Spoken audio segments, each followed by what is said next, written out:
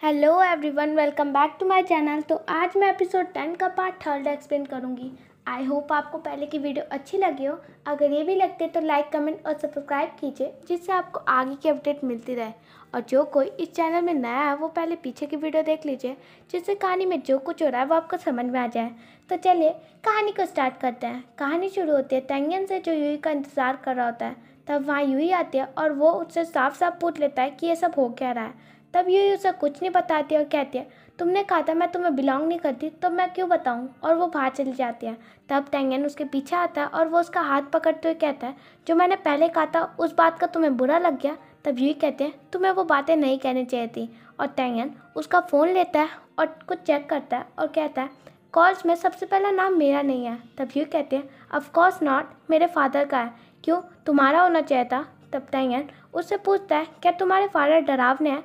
तब यूँ ही कहते हैं हाँ वो बहुत डरावने हैं। अगर वो तुमसे मिले ना तो तुम्हारे ये जो सारे बाल हैं, वो सब निकाल देंगे। तब तेंगन उसके फ़ोन में कुछ टाइप करता है और उसे दिखाता है और उसमें लिखा होता है डैड आई एम प्रेगनेंट और ये देखने के बाद यूई अपना फ़ोन छीनने की कोशिश करती है, पर वो नहीं कर पाती। तब टेंगन उस मैसेज को सेंड कर देता है। फिर यूई घबराते हुए कहती है, तुमने सेंड कर दिया? और टेंगन कहता है, अब तुम्हारा क्या होगा? तुम्हारे बाल तो गए और वो अंदर चले जाता है और यूई की शक्ल देखने लायक होती है। तब उसे उसके डैड का कॉल आता है और वो उन्हें समझाते हुए पापी चले जाती है। फिर हम टेंगन को देखते हैं, जो सबको बताता है कि यूई की तबीयत ख़राब थी तो कोई भी उल्टा सीधा ना सोचे। तब शिनवो कहता है इट्स ओके और वो मिन्यूगो से पूछता है, हमें तुम कुछ बताने वाले थे ना, गोमिनम? तब मिन्यूगो उन्हें, कल की बात के लिए सॉरी कहती है। तब शिनवो कहता है, हम समझ सकते हैं, कल तुम बीमार थे। तब जैमी कहता है इट्स ओके तब टेंगन कहता है तुम्हारा ये पहली बार नहीं है तुम माफ़ी मांगना बंद करो। और मिन्नियो को, इन तीनों को ऐसे देख के इमोशनल हो जाती है। फिर वो मन में कहते हैं, मदर, ये सब मेरे साथ कितने अच्छे से रहे। प्लीज़ मदर, मुझे हिम्मत देना कि मैं इन्हें प्रोटेक्ट कर सकूँ हर्ट होने से। फिर सीन कट होता है मिन्योगो की आन की तरफ़, जो अपने दोस्तों के साथ चिल कर रही होती है। और इनकी बातों से हमें ये पता लगता है कि मिन्योगो की आन को शक हो रहा होता है कि मो वॉरेंग ही मिन्योगो की माँ तो नहीं। फिर हम टेंगन की मॉम को देखते हैं, जो ड्रिंक कर रही होती है, इमोशनल होती है, और मिन्यूगो के डैड का गाना सुन के उन्हें मिस कर रही होती है। और वो कहते हैं, तुमने ये गाना मेरे लिए बनाया था ना, कि मैं तुम्हारे पास वापस आ जाऊँ? तुम मुझसे ही प्यार करते थे ना, जैसे मैं तुमसे करती थी। और दूसरी तरफ़ तेंगन भी वही गाना सुन रहा होता है, और वो कहता है, इस सॉन्ग की लाइन कितनी सैड है। इसलिए क्योंकि उन्होंने उनसे भीख मांगी होगी वापस आने के लिए, तभी तो उन्होंने मुझे छोड़ा। तब वो कैसे देखता है और कहता है, जे युन को इनकी वजह से फिर वो पिकी रैबिट को देखता है और कहता है, जब मैं सैड फील करता हूँ तो मुझे रियल मीनम को चाहिए। फिर वो उन कपड़ों को भी देखता है जो वो मिन्नी के लिए लाता है। दूसरी तरफ़ हमें मिन्नी को दिखाई जाती है, जो स्टार्स देख रही होती है, पर उसे एक भी नहीं दिखता। तब तेंगन आता है और वो कहता है, यहाँ बहुत उजाला है। अगर तुम्हें स्टार्स देखने तो लाइट बंद करो। और मिन्नी को करती भी वैसा है। फिर मिन्नी को उससे कहती है अब मैं स्टार्स देख सकती हूँ, तब तेंगन कहता है, पर मैं नहीं देख सकता, क्योंकि अंधेरा है, तब मिन्नी को कहती है, क्योंकि अंधेरा है, तभी तो मैं देख पा रही हूँ। तब टेंगन उससे पूछता है कि वो इतनी रात को यहाँ कर क्या रही है? क्या उसे कल के लिए डर लग रहा है? तब मिन्नी को उसे बताती है कि वो अच्छे से कर लेगी। तब टेंगन कहता है, तुम्हें पता है कि कल हम नहीं आएँगे? तब मिन्नी को कहती है हाँ मुझे पता चला कि मिस्टर आन ने मेरे लिए ये किया है। तब टेंगन कहता है, कल तुम होस्ट बनोगे।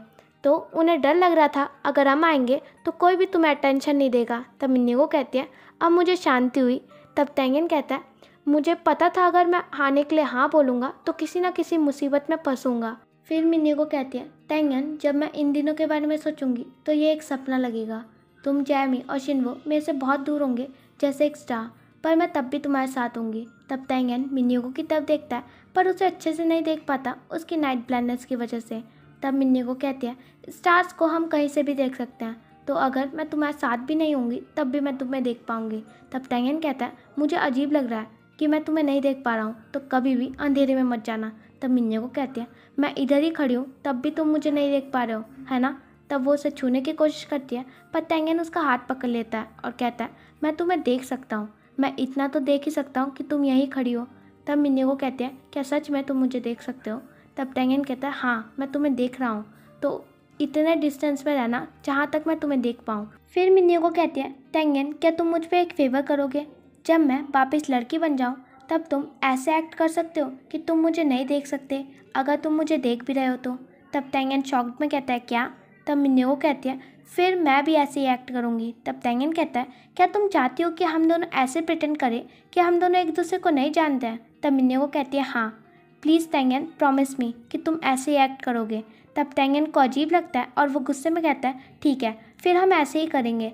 आई प्रॉमिस यू मैं जब तुम्हें देखूँगा, तब मैं ऐसे प्रिटेंड करूँगा कि मैं तुम्हें जानता ना हूँ। तब मिन्नी को कहते हैं थैंक यू अब मैं अंदर जाती हूँ और लाइट भी ऑन कर दूँगी। फिर वो अंदर चल जाती है और यहाँ तेंगन गुस्से में कहता है, ये ऐसा चाहती है कि हम दोनों ऐसे प्रिटेंड करें कि हम दोनों एक दूसरे को जानते ही ना हो। वो सच में एहसान फरामोश है और बनी भी। फिर हम मिन्नीगो को देखते हैं, जो टेंगन की लाई हुई ड्रेस देखती है और तभी टेंगन का टैक्स आता है और उसमें लिखा होता है, ये तुम्हारी एमरजेंसी ड्रेस है, इसे संभाल के रख देना।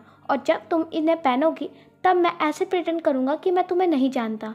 तब मिन्नी कहते हैं, तुम्हें ऐसे ही करना चाहिए। फिर सीन कट होता है और हम देखते हैं प्रेमियर की ऑलमोस्ट प्रिपरेशन हो चुकी होती है और दूसरी तरफ़ मिन्नियों को रेडी होती है वहाँ से जाने के लिए।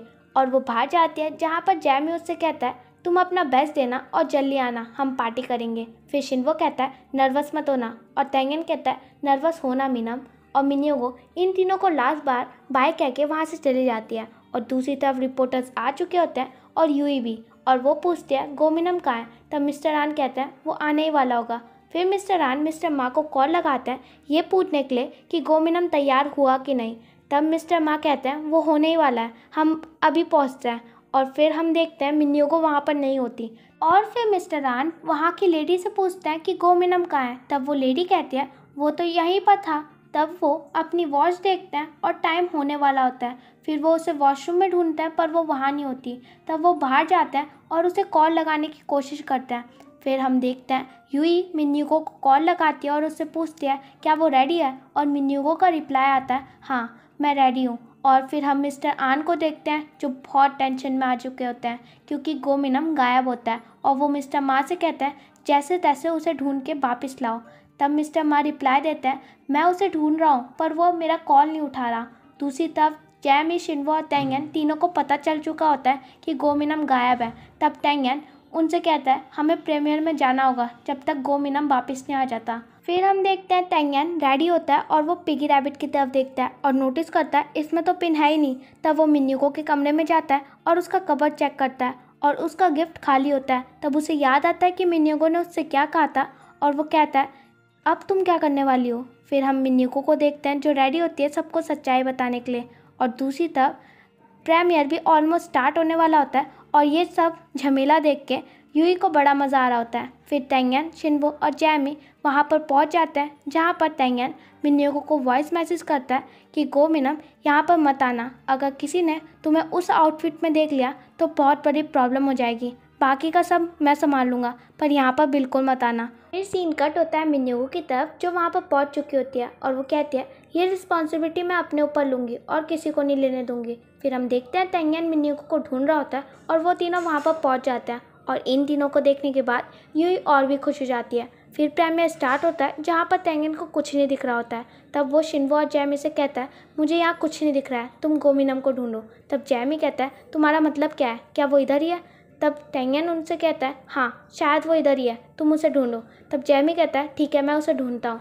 फिर टेंगन कहता है, तुम्हें एक लड़की को ढूंढना है। और ये सुनने के बाद जैमी शॉक होके पूछता है, लड़की? तब वो कहता है हाँ। उसने ऊपर से कोट पहना होगा और नीचे से पिंक कलर की स्कर्ट। तब जैमी उससे पूछता है, तुमने कहा था मैं गोमिनम को ढूंढना है ना?